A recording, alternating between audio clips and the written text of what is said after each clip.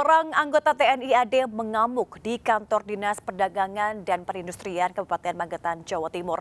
Kemarahan anggota TNI ini lantaran laporan perselingkuhan antara Kepala Dinas Perindustrian dan Perdagangan setempat dengan istrinya tak kunjung ditanggapi.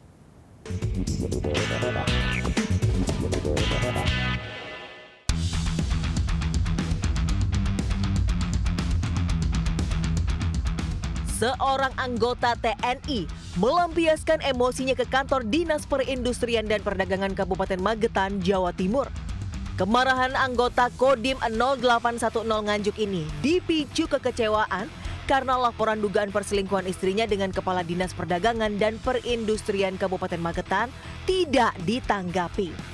Ia berulang kali datang untuk mempertanyakan kebenaran Sementara Kepala Dinas Perdagangan dan Perindustrian Kabupaten Magetan Sucipto tidak menanggapi dan mempersilahkan untuk melapor ke polisi. Tentang laporan saya, perselingkuhan antara istri saya dengan Kepala Dinas Perindustrian Perdagangan.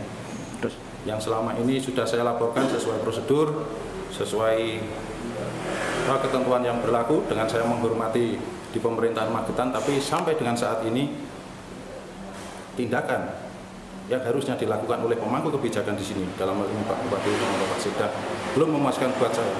Jadi sana ada buktinya, dia punya, punya bukti apa, ya diberikan polisi seperti itu saja. Nah, kita nggak usah, nggak ada ada, nggak usah ya.